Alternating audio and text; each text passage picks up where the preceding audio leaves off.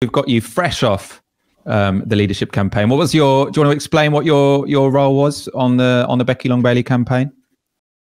So I was brought in uh, early January to head up communications. So um, in my team was obviously we did press, uh, digital communications, we did events. Events fell under my team as well. Um, and really, I was involved from the what was the early stages of the campaign, uh, building up the, the campaign team, and you know, working on messaging, working on uh, interventions, strategic interventions that were made throughout the campaign. So yes, um, it's been a very very long campaign. Obviously, it's been a long three months, uh, very intense, and very very unique and unusual circumstances. I would say, particularly for the left. I don't think we've been in this position before where we've just lost very badly um, in a general election and having to deal with the consequences of that for the, you know, in terms of the political context and where we go from there. And it's been a learning curve, I think, from from my perspective. Uh, I think we made some mistakes in how we read the Labour membership. I mean, these are the things that I've learned in the campaign. Um, and I think it's really important that the left learns the right lessons. And I think that Jeremy Corbyn won in 2015 because he was the only anti austerity candidate. And because he was the only anti austerity candidate, he was able to unite the soft left and the hard left and the paper members. And the paper members, they want to win an election, they're broadly left wing, they're anti austerity, you know, they're social, dem- social democrats. Um, and he was, Jeremy Corbyn was the only person standing up for social democracy in that 2015 leadership contest. And then I think this time around, uh, the soft left and the paper members, they, they sort of grew obviously uh, uh, disaffected and disillusioned with the, the left, with Corbynism as a project. Corbynism, from their perspective, ended on the 13th of December and that project ended and it was time for something new from that from from then on. And i just want to just read out a couple of things like but i think illustrate this very well. So this is from YouGov polling in december of labour members. So 44% of labour members think thought that labour should be more centrist. 32% had no preference 14% don't know. But this was a crucial one. Do you think corbynism or jeremy corbyn's leadership changed the party for the better? Only 12% said yes. Change the party for the worse, 56%. So the reason I'm telling you this is because I think it's really important that the, the people have recognised that this wasn't a case of just uh, Jeremy Corbyn handing the baton to the next leader, uh, the next person that he, he wanted to succeed in. We just lost the general election. And I think that the campaign really was, it was difficult to mobilise people because we were trying to appeal to the soft left. And we had to appeal to the soft left because, as I just illustrated with that polling, we'd lost them quite badly. Jeremy Corbyn's coalition had splintered and fractured. Uh, so I think by focusing the campaign on trying to appeal to the soft left, we didn't mo- mobilize enough people. So that's my kind of analysis is, you know, Jeremy Corbyn mobilized a lot of people. People knew what his politics were. He'd been around for decades. Eh, they knew what he stood for and it, and he was able to bring that coalition together. And I think it was very difficult for in the current context to do the same thing. That, I just want to focus on that polling first of all because I hadn't. Was that a private poll? No, that, I hadn't. I hadn't seen that before. That was in the public YouGov polling. Yeah. So, and, but, but, seriously, only twelve percent of people thought that Corbyn and Corbynism made the Labour Party better, who were Labour members. Yes, exactly. So that was what we did, and then, and then we were. Like, that's really that's really that's very damning, in fact. Well, exactly, and this is, this is the thing. Um, and you know, I don't necessarily agree with that, but this is how people were feeling after the election. People were going through a grieving process, and people were thinking, "I don't want that to ever happen again. I don't want to ever lose an election again." Of course, you will lose ele- elections, general elections, but people were feeling in that moment uh, you know, that they wanted to grasp for, for something that seemed to make sense in, in, in the context of trying to win an election. And look, Keir Starmer, um, I think the campaign succeed. Our campaign succeeded in making sure that he made commitments, those ten commitments on policy that we can now hold him to. And I think that you know, on a policy level, he was I think he, I think he uh, appealed to most members. Most Labour members are probably in that kind of ballpark on a policy level.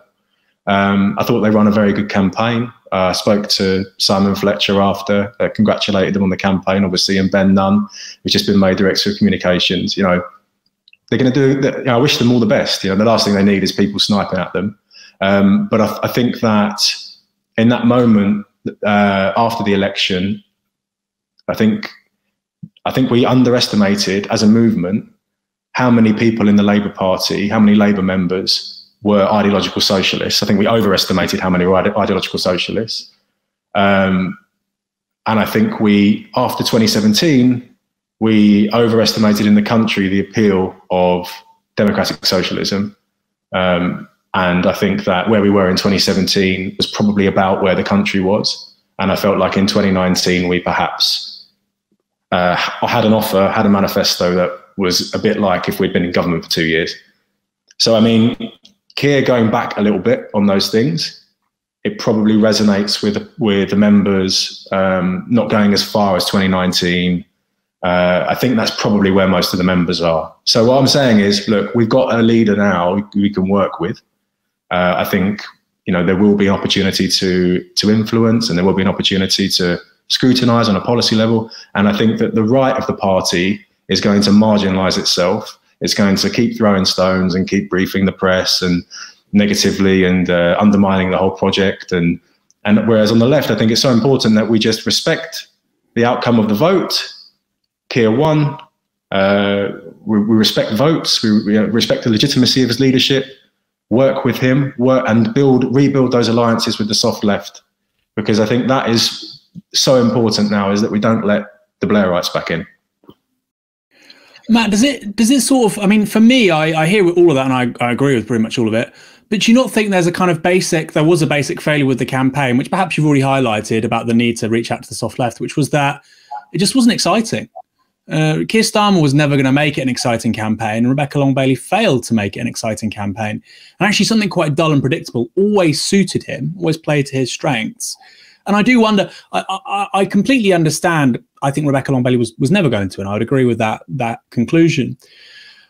And I think that the idea if she if she pitched herself as a continuity Corbyn candidate, she she wouldn't have won either. But for me, it was well, wh- why should she be any more continuity Corbyn than Keir Starmer? Keir Starmer had a more senior role. She's younger. She's a woman. Uh, she's got great green credentials. You could have had a very shiny, happy, high energy launch, lots of young people, green politics, new economy, excitement, and people wouldn't even be talking about Jeremy Corbyn. And so I wonder if I agree with you. If you run as a continuity Corbyn candidate, that's precisely what's going to happen. But in the absence of offering something new and exciting, your opponents did that anyway. Do you, do you think that was something of an issue? She didn't really hit the ground running. There wasn't that energy. And if so, why was that? Well, first of all, uh, continuity Corbyn wasn't something that we wasn't like a message that we had crafted. It was a, label that was uh, attributed to her, uh, which I thought was very unfair from the start. Um, and it was something that we we did our best to push back on. Uh, but I think there, in terms of the launch, the actual official launch of the campaign, I thought that was actually probably one of the, the better moments of the campaign. I thought it was it was high energy. It was a lot of young people. It looked slick. It was well put together. She did a series of very very good broadcast clips. She did very good sit down interviews. From on a comms level, on a politi- political level, um, I thought it was very, very effective. And actually, it reset the campaign because it did, as you said, it did get off to a slower start because obviously she had not been planning a leadership run. She was still thinking about it over Christmas. Um, it's a massive undertaking and a massive commitment. And, you know, I, I don't blame anyone for thinking very carefully about whether they want to do it. But Keir Starmer was obviously planning his campaign uh, quite a lot in advance of the general election, and that showed. And he was he was able to get off to a, a flying start. Launched a very very good video that addressed a lot of the concerns that the members might have had with him.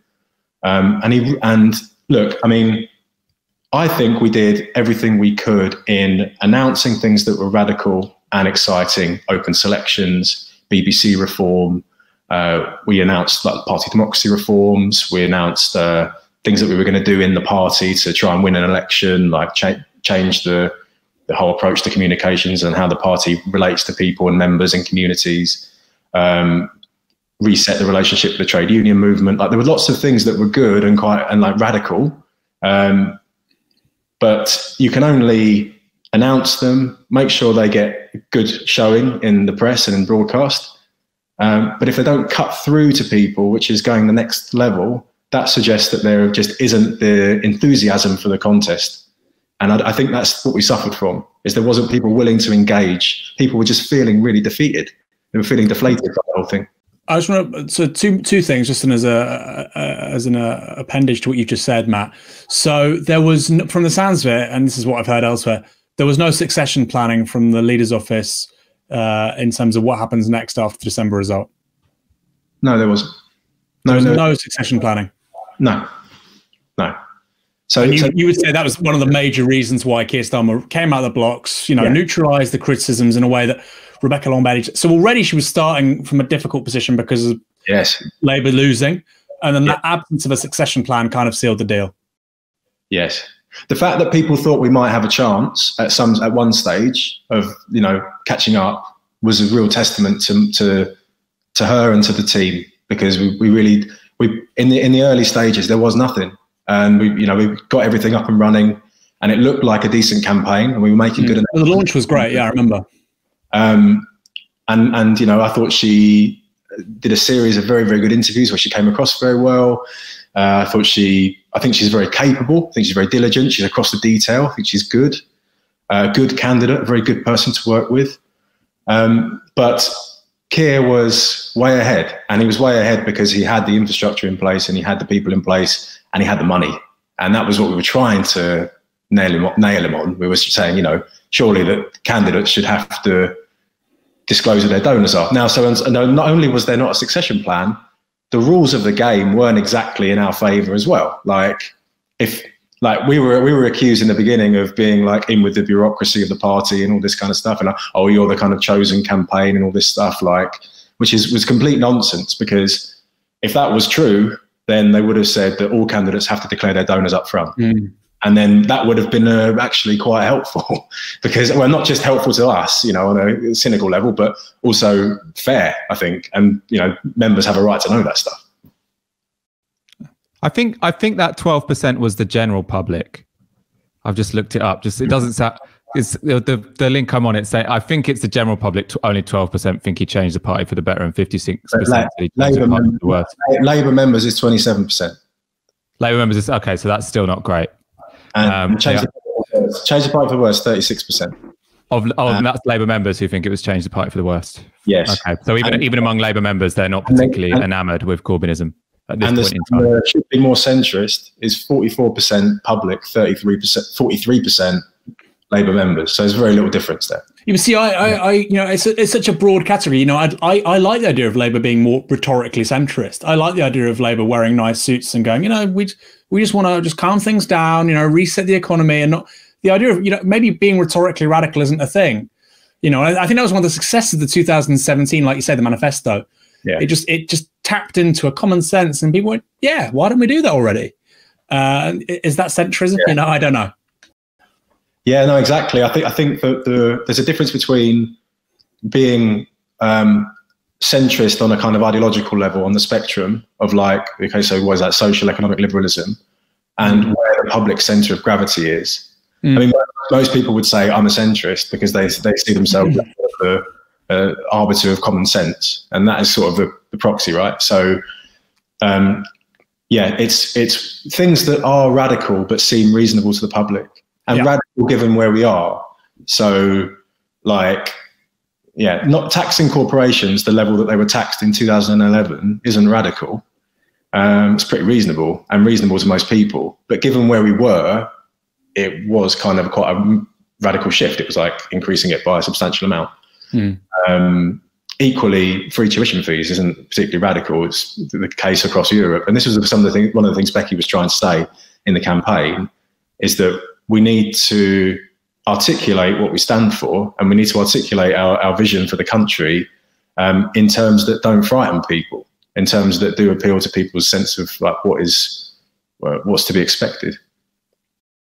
What do you think is is next for the Labour left then? Because I mean, I, I think some of those those conclusions you you've come out with they're quite they're quite strong. It feels like you know why you think Rebecca Long Bailey sort of lost the campaign, which is that actually, and I mean, this is something we've talked about on the show in terms of Bernie Sanders also not winning the Democratic primary, an excellent candidate, is that maybe, um, well, the, the public, let alone the members, aren't as as far left as as you know people people like us on Novara Media might have hoped they were. Um, so if if that is the the conclusion you've come to, what role do you think the Labour left do play in the Labour Party now? How how do you see the left organising? What role do they have? Um, how do you think a momentum, for example, should relate to to a leader like Keir Starmer? Well, I think the left has to uh, support the leadership.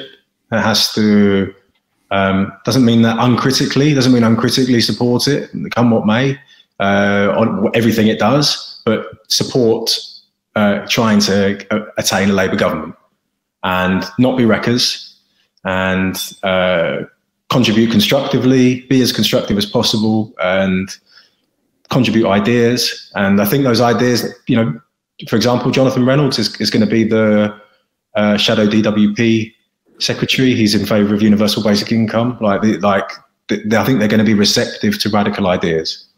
I think this is very, very different to Ed Miliband. Ed Miliband, he still had the Blairites kicking about, and he had to accommodate them. And I don't feel like Keir has felt like he has had to accommodate them to the extent that Ed Miliband had to. I don't think he wanted to. So I think it's a very, very different story now, and we are we are still influential in this context. But if we marginalise ourselves, we won't be.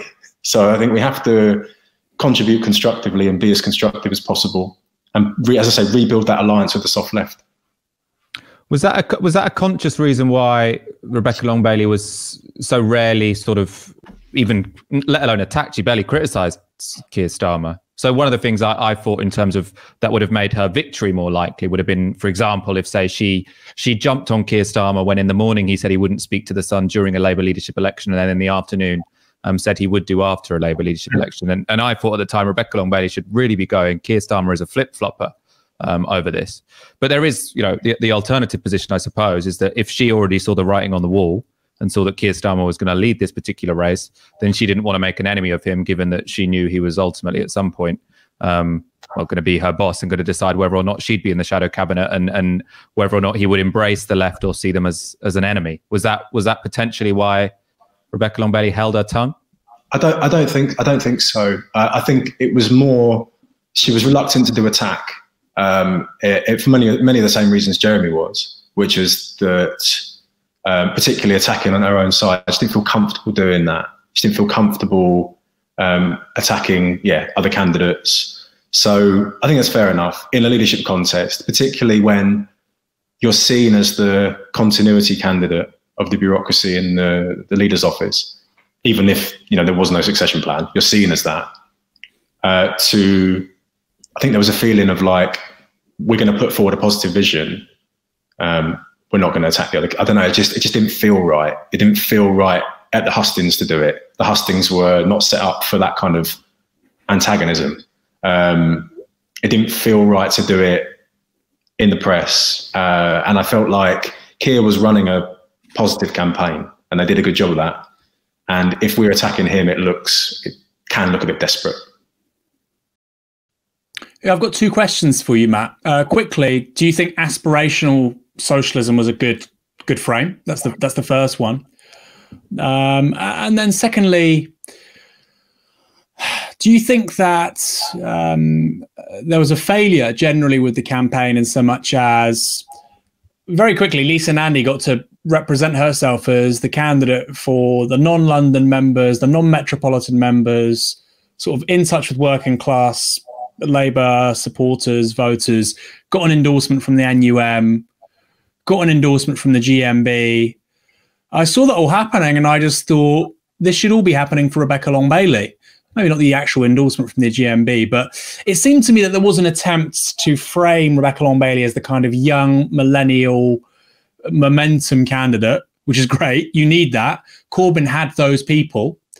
But at the same time, there wasn't an attempt to reach out to the other parts of his vote, which really matter.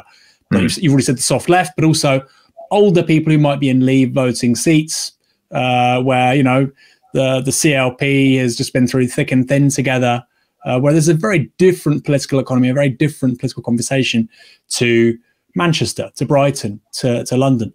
So those are two questions: the aspirational socialism one, and then the inability really to go beyond a younger metropolitan sort of uh, demographic. So first of all, the the NUM is about ten old blokes sitting in someone's front room. But it was symbolic, wasn't it? Sorry. It was symbolic, though, wasn't it? it well, okay, fine, but like I wouldn't read too much into the NUM, and the GMB were not, you know, hugely supportive of uh, obviously the Green New Deal and that kind of um, green radicalism that Rebecca wanted to represent. So I think that that you know those things have to be taken into account, mm. and I think that it was it was actually pretty inevitable that Lisa would get the GMB nomination. Um, I would say as well, though, that Lisa was in a uh, in a unique position in the race, particularly in the final three, because she wasn't having to or feeling like she was having to defend the previous leadership. So she did have this kind of freedom. I think it looked like a freedom to say what she wanted, and she looked like more like the straight talking, honest politics candidate. Mm. Which is the, the space that Jeremy occupied in 2015. But if you are the establishment, if you are the bureaucracy, if you do represent where you have to be accountable for the decisions that were taken by the leadership, um, it's very difficult to do that. Uh, we weren't outsiders, we weren't insurgents. We were running a very, very different campaign to Jeremy in 2015 and Jeremy in 2016. And we had to. And it was about the context. And I think that people have to bear that in mind. Like, Jeremy was the right person to lead the Labour Party in 2015, and he was the right person to lead the Labour Party in 2016. And Labour members, that's why they voted for him. Um, but I feel like the context changes, things move on, and he, I think Jeremy Corbyn was the person who had the best chance of winning that election in 2017 of all the candidates that stood in 2015. Obviously, more than Owen Smith. I think his brand of insurgent, anti-establishment politics nearly did the job in 2017, and you know, I think, it, I think, uh, yeah, I think, I think it was, it was come very, very close, basically in, in 2020, we're in a different we're in a different world now. We've lost the general election. Um, members are looking for something different, and I think we have to we have to recognize that we can't just keep running the same campaign again and again. We've got a, a, couple of questions I want to I want to throw in from the audience. Spiritual Human asks: Was RLB campaign consciously or by consequence of just running, making sure Keir Starmer expressed socialist credentials, thereby pushing his campaign more left than it may have wanted. Um, and Derby PA asks, will we ever get to know who funded Sir Starmer? Um, I might just jump in on that second one. Actually, I think in the in the next edition of Private Eye, uh, Solomon Hughes today tweeted that it's going to be it's going to become apparent that's that a, a, major funder for Change UK was one of Keir Starmer's funders, but it won't be named until that edition of Private Eye comes out. Um, he's a journalist for Private Eye. Um, but Matt, I'll go to you for well that first question, and then if you've got any goss on the second one, was it was it a was it a conscious decision or just by consequence of, of RLB standing that that Keir Starmer was pushed to the left? And I suppose to what extent do you think he was pushed to the left? That's a very good question. I think um, by consequence, it wasn't conscious. Obviously, I think it's important that the left runs in leadership contests to be standard bearers for a particular type of politics, to you know, stick big red flags in the ground and uh, start conversations and uh, affect the discourse on policy. I think it's very important. But I think what we were able to do is, I think, draw Keir out to much firmer commitments just by making those commitments ourselves and being in the contest. I think that that is that was a consequence. That wasn't the that wasn't the reason that Rebecca ran. Obviously, Rebecca was in it to win it. But um, yes, I think I think I think the outcome was better than it better than it would have been if she didn't run. Uh, and in terms of so that so just to finish that point, I think it's really important now that as as a, an organised left, uh, we we hold the leadership to to those commitments. I think it's absolutely fair.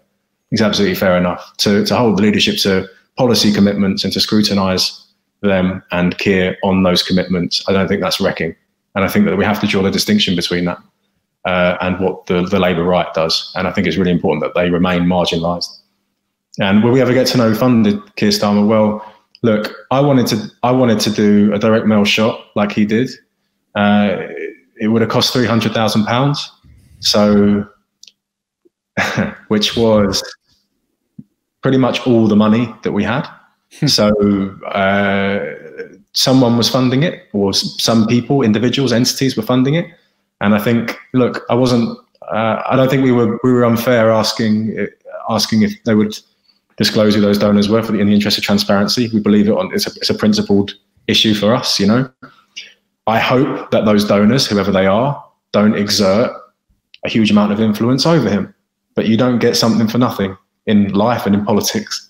So that was my worry is like, if he wins, he's going to owe all these people, you know, influence. And, and therefore it's going to be more difficult to keep him left. I don't know how much influence you're going to get over Keir Starmer for 300 grand. I feel like that was, know, so many, there were just so many rich people who were fucking desperate to get rid of a mm. Corbynite from the Labour Party because they wanted a, well, I mean, depending on how you look at it, uh, well, an opposition which conformed more to the type of what they expect from Westminster politicians, which you might look at as as protecting the vested interests of the powerful, um, or I mean, you can you can frame it however you want. Um, Aaron, do you want to come in, or shall I go to a, a question from a, an audience member? You go in. Go ask more. Okay, so TH Wolf, this is a very good question. I think this is going to be actually the key question um, or one of the key questions for Keir Starmer going forward. Is the Labour Party under Keir Starmer able to bring the progressive younger voters along that will need to stand a chance at the next general election? Does he have that kind of appeal or instinct? Um, I have some thoughts on that, but I'm going to go to you first. Who wants to take that, Matt? Well, on, Matt. For the guests. Um, I think so. I think he. I think he can, uh, and I think that really it comes down to policy. And uh, I think if he can keep a lot of the policies that were in the 2019 manifesto that appealed to younger people, he's already talked in the campaign about abolishing tuition fees. Um, he's appointed Rebecca uh, as shadow education secretary, so I feel like that that's that commitment is safe. Um, obviously, I think there's space to go much further, but we don't know what the world's going to be like in 2024. You spoke obviously at the beginning of the program before I come, came in about like how much economic upheaval and turmoil there's going to be as a result of the coronavirus. So like how we rebuild and what the economy looks like next month, let alone next year, it's difficult to say. And obviously the election's not till 2024. So I think I think he's going to have to be radical in his offer. And if he can combine radicalism with uh, credibility or the appearance of credibility uh, and inspire confidence in older voters, uh, then I think the policies will do the rest for, for younger voters. I think he's going to really struggle to keep a lot of younger voters. Uh, the reason being one of the one of the you know one of his USPs, his big sort of selling point is respectability politics, and by doing the respectability politics stuff, you know, it, how authentic does it look if Keir Starmer's talking to to Stormzy? You know, when he goes on to Lad Bible. Now that doesn't win you elections. Jeremy Corbyn did all of that stuff, and I'm not suggesting it does win you elections. But the, the secret sauce is in keeping that coalition Jeremy Corbyn got, which was more than 10 million people last year in December, which was still a failure, but that was more than either Ed Miliband or Gordon Brown or Tony Blair in 2005. How do you keep that coalition together and then get an extra two, three million? And I think even just keeping that coalition together is quite hard, uh, especially if there's any sort of departure, if they leave behind a lot of left wing policies. We've already seen it with Ed Miliband between 2010 2015. You know, the Green Party in 2015 got almost a million votes. Uh, I don't think that could be necessarily repeated because I think the behavior of the Green Party in the last several years has really exposed them for what they are. Uh, but it's it's got to be a concern. You know, young people aren't going to necessarily. Young people are ethnic minorities, by the way. You know, uh, this is a front bench now. There's not a single. Uh, there's Lisa Nandy, who's mixed race, mixed heritage, has got a senior role. But other than her and David Lammy, there's no real. And then you've got uh, Marsha Cordova. But Diane Abbott was uh, shadow foreign secretary. You know, you've got a lot of BAME people um, who aren't there anymore in senior roles. So why should BAME people vote Labour if they're not seeing representation of BAME people at the top levels of the party?